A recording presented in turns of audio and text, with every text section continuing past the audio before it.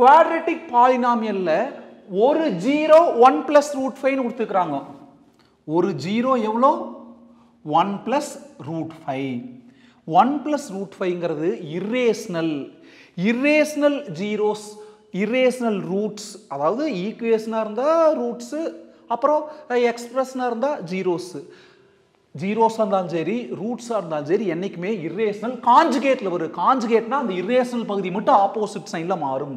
அப்போ one plus root five உடைய conjugate one minus root five ஒன்று தான் கொடுத்துருக்குறாங்க. இன்னொன்று நம்ம டக்குன்னு எழுதிட்டோம் என்ன ரீசன்னா ஒரு புரியுற மாதிரி ஒரு உதாரணம். கவனிங்க. X square minus three equal to zero ஒரு குவாட்ரட்டிக் ஈக்குவேஷன் கன்செப்ட் நினைக்கிறேன். அப்போ ஈக்குவேஷனாக வரதுக்கு பேர் என்னது? ரூட்ஸ் மைனஸ் த்ரீ அங்கே போனால் ப்ளஸ் த்ரீ ஸ்கொயர் அந்தாண்டி போனால் plus or minus square root அப்போ plus or minus square root எப்படி பிரிக்கலாம்? ப்ளஸ் ரூட் த்ரீன்னு ஒன்று பிரிக்கலாம். மைனஸ் ரூட் த்ரீன்னு ஒன்று பிரிக்கலாம். அப்போ இதை பாருங்க.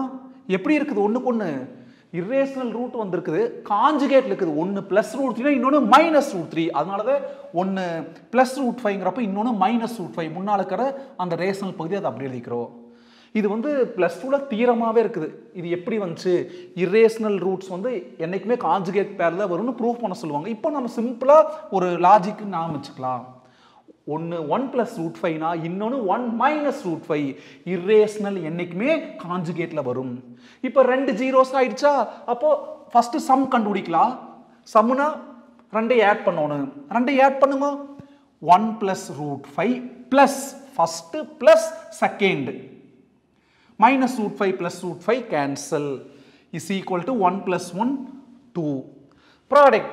அந்த ரெண்டு ஜீரோஸ்க்கு ப்ராடக்ட் கண்டுபிடிக்கலாம். ப்ராடக்ட்னா ரெண்டையும் மல்டிப்ளை பண்ணணும். One plus root five into one minus root five அப்போ இது என்ன format a plus b into a minus b அதோட formula a square minus b square one ஸ்கொயர்னா one minus square square root cancel மிச்சம் five மட்டும்தான் இருக்குது. One minus ஃபைவ்ங்கிறது minus four இப்போது என்ன எழுதிக்கலாம்? குவாட்ரட்டிக் பாலினாமியல் எழுதிக்கலாம். அங்கே பி ஆஃப் ஒன்னு கொடுத்துக்கிறாங்க ஒரு கண்டிஷன் அப்போ நம்ம அந்த பாலினாமிக்கு பி ஆஃப் எக்ஸ்னு பேர் வச்சுக்கலாம். என்னது? X square minus sum of the zeros into x plus product தப்பி தவறி கூட ஈக்குவல் டு ஜீரோ போட்டுறாத. பேசிக் வீடியோவில் பார்த்துருக்குறோம்லோ என்ன பார்த்துருக்குறோம்? ஒரு ஈக்குவேஷனாக இருந்தால் அதாவது ஈக்குவல் டு ஜீரோ வரப்போ அது கண்டுபிடிக்கிறதுக்கு பேர் ரூட்ஸு ஒரு எக்ஸ்பிரஷன் ஈக்குவல் டு ஜீரோ இல்லைன்னா கண்டுபிடிக்கிறதுக்கு பேர் ஜீரோ கொஸ்டினில் ஜீரோங்கிற வார்த்தையை பயன்படுத்திக்கிறாங்க. அப்போ ஜீரோங்கிற வார்த்தையை பயன்படுத்துகிறப்ப ஈக்குவல் டு போட் ஈக்குவல் டு ஜீரோ போட்டால் கரெக்டாக தப்பா? தப்பு. ஏன்னா அது ரூட்ஸாக தான் ஈக்குவல் டு ஜீரோ வரும் புக்கில் எப்படி இருக்குன்னு யோசிக்க வேண்டாம். நம்ம ப்ராப்பராக போகலாம் அடுத்தது. ஈக்குவல் டு அதாவது p of x equal to x square minus sum sum என்னது? டூன்னு கண்டுபிடிச்சிக்கிறோம். சம்முக்கு பதிலாக டூ அந்த எக்ஸ் அப்படியே இருக்குது plus product product minus four கண்டுபிடிச்சிக்கிறோம். Plus into minus four minus four இதுதான் பி ஆஃப் எக்ஸ் அடுத்தது ஒரு கண்டிஷன் கொடுத்துக்கிறாங்க. என்ன condition p of one equal to டூன்னு கொடுத்துக்கிறாங்க. பாருங்கள் பி ஆஃப் ஒன் அப்போது இப்படி கண்டிஷன் கொடுத்துருக்கிறப்போ முன்னால கேஆல் ஏதாச்சும் ஏதாச்சும் ஒரு ஸ்கேலாரால் ஜீரோ இல்லாத ஸ்கேலாரால் மல்டிப்ளை பண்ணிக்கணும் ஏன் சார் நம்ம படிக்கிறப்போ அப்படிலாம் படிக்கலையே. இப்போ ஏன் சார் புதுசாக கேஆல் மல்டிப்ளை பண்ணிக்கிறீங்க? என்ன கதை சொல்கிறீங்க அப்படின்னு யோசிக்க தோணும் கரெக்டாக பொறுமையாக கவனிச்சுக்கோ. எப்பெல்லாம் இப்படி கண்டிஷன் கொடுத்துருக்குறாங்களோ அப்பெல்லாம் முன்னால் ஒரு கேஆல் மல்டிப்ளை பண்ணிக்கணும் ஏன் மல்டிப்ளை பண்ணுறோம் அப்படிங்கிறத கடைசியில் நான் நியாயப்படுத்துகிறேன் அது வரைக்கும் அவசரப்படாமல் பொறுமையாக கவனிங்க. என்ன கொடுத்துருக்குறாங்க p of one equal to two அப்போ பி ஆஃப் ஒன்னுனா எக்ஸுக்கு பதிலாக ஒன் அப்போ கே இன்டூ பாருங்க. P of one p of one x வர இடத்துலலாம் ஒன் அப்போ one square minus two into one minus four equal to two k into 1 square na 1 minus 2 into 1 minus 2 minus 4 equal to 2 1 minus 2 minus 1 minus 1 minus 4 minus 5 minus 5 into k minus 5k equal to 2 k equal to 2 by minus 5 into minus 5 அங்க வந்தா divided by minus 5 minus கீழே எழுதினாலும் சரி மேலே எழுதினாலும் சரி இப்போ இதை கொண்டு வந்து இதில் சப்ஸ்டியூட் பண்ணிக்கலாம் ஈக்குவேஷன் ஒன்ல ரீப்ளேஸ் பண்ணிக்கங்க என்னது p of x equal to